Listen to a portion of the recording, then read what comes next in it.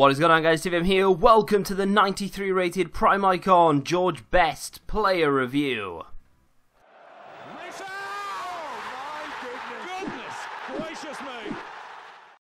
So amongst EA releasing the Team of the Year midfielders, they've decided to drop another icon. Many people are predicting that we'll also get another icon today uh, when the defenders drop, which won't be a bad thing. A lot of people have said a 94 rated icon. That has to be Ronaldinho, doesn't it? Uh, I don't know why people are suspecting that. Maybe it's gone up in 92, 93. The last two days, though, we've had the best icons, uh, in my opinion at least, that, uh, that they, there have been so far. George Best is definitely one of those that if you were considering doing an icon, that you should uh, really sit down and have a think about because this is one of those that you will have in your team for the remainder of the game, regardless of Team of the Year, Team of the Season, FUT Birthday, any other promo that they could possibly release. This is a right wing for the ages. This is a phenomenal looking card. Now, stats wise, You've just seen them on screen. I'm just going to run through some of the best ones. I might be here a while. Uh, the dribbling across the board is fantastic. It's 90 plus for everything, which is insane. Uh, the pace is 94, acceleration 92, sprint speed, which is nice. Finishing is 94, long shot are 90, and shot power is 89. That's fantastic stat as well. Passing there, what a great ball to Rivaldo. Unfortunately, Rivaldo. Uh, didn't really do much with that, to be fair. He was on the wrong side. He needed to cut in, and when I tried to cut in, it was just chance was gone. The strength about Best is probably worth mentioning first because it is literally the only negative I can find. Everything else about this card is ridiculous. Negative wise, uh, strength 68. It's not great. Uh, for a winger, I've definitely seen worse. I think someone like Insigne, for instance, has like 40, 50. Same with Mertens. Not that he's a winger, but I, to be fair, I use him as a winger. So yeah, they don't have great strength, and it's definitely worth noting that uh, the strength is particularly low on George Best. However, it's also worth noting that that is the only negative stat. Four star, four star is nice, and of course. Uh, you have the 87 heading as well. Like that's something that a winger doesn't normally have. Something you don't normally uh, expect to see on a winger. So if you do decide to play George Best as a striker, know that he has 92 composure, 94 finishing, 87 heading. He's only 5'9 to his credit. So I mean, you could argue that he won't win a header, but he does have 80 jumping. You can boost that by 10 or 15 points and get yourself an insane salmon uh, with uh, with really good heading ability. I tell you what, though, I score a lot of time finesse shots, and I feel like I'm getting better and better. And it really does help when you've got players like George Best in your team because they are just so good at doing that. That's a, a weak foot finish, low driven. I've been testing that out a lot lately as well. I'll tell you what, if you get into range uh, close range inside the penalty area and use a low driven shot, it's almost as effective if you can get it on target, almost as effective as it was last year. And I say that, and, and I mean it, I genuinely mean time finesse shots, or time low driven shots, sorry, in the penalty area are deadly. That like again, like they were last year.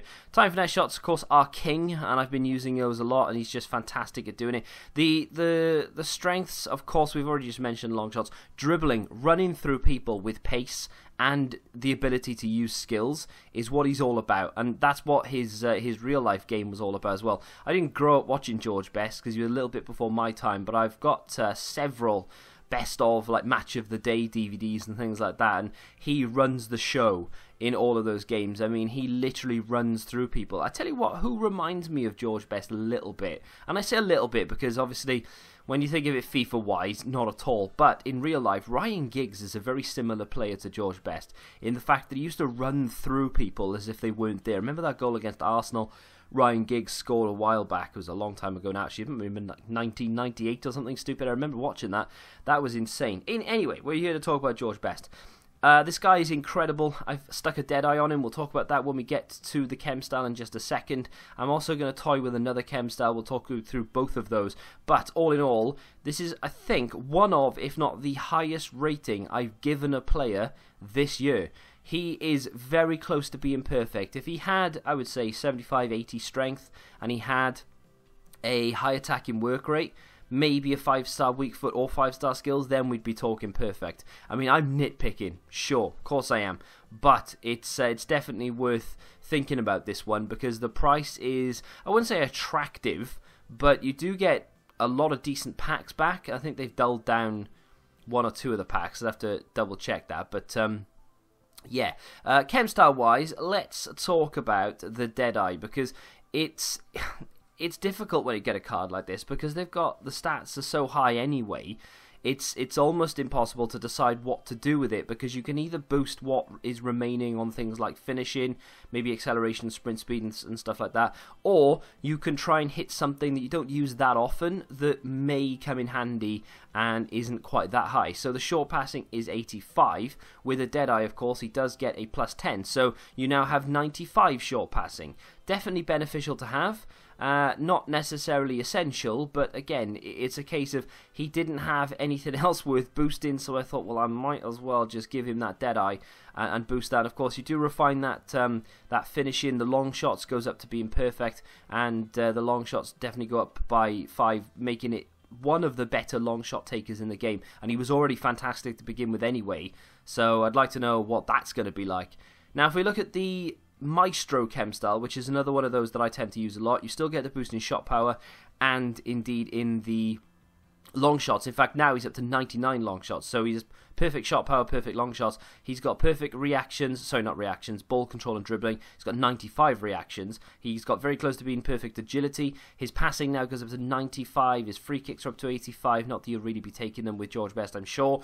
You've probably got other free kick takers who are capable. Uh, the, the only negative there, then, really, that we haven't managed to hit, I suppose, is curve, which I'm not that bothered about. Uh, I'm still on the fence as to whether curve affects shooting or not. Many people will say no. In fact, a lot of people I read say curve doesn't affect shooting because it's in the passing um, category, but agility affects pace, and that's not in the category. Uh, composure ex- uh, affects finishing, and that's not in the shooting category. Do you know what I mean? It's swings and roundabouts. I've got him on the left hand side. I'm not. I know it's a bit. It's a bit annoying, really, for those of you who want to know about him being on the right side. You know, maybe one of you, you're one of these guys who don't like to switch in game, and I get that, and I perfectly understand why. But um, I, I, play with him on the left because he's right footed. Yes, he's got a four star weak foot, and I suppose cutting in on the left foot wouldn't be the end of the world, but it would be so much better, and it is indeed so much better to be able to cut in on that right foot from the left hand side. Talk about that when we look at the team in just a second. Now, uh, stay forward, I've got on Best, Rashford, and Rivaldo. Uh, it works in certain formations. I did a draft in a 4 3 3 and it didn't work there at all. There was a massive gap between my strikers and my midfield. Um, that is the team right there. Of course, you would have seen it already, but we, we play a. That's a 4 3 3 to set up, but we do move into a 4 3 2 1 and uh, we, we switch George Best over to where Rivaldo is. To be fair, I could probably start in a 4 3 2 1 and it wouldn't make a blind bit of difference. I could just switch Rivaldo and Best, but uh, it was like that from the previous setup, so I've just left it there, and then we just switch in game anyway, so it doesn't make a blind bit of difference. So yeah, George Best on that left hand side, Rivaldo on the right. It's actually worked out really well because Rivaldo is left footed. He's got a terrible weak foot, so playing him on that left hand side would be just a waste. And then of course George Best. I, I, I don't. It says right wing, right? He's a right wing. I don't remember him playing right wing.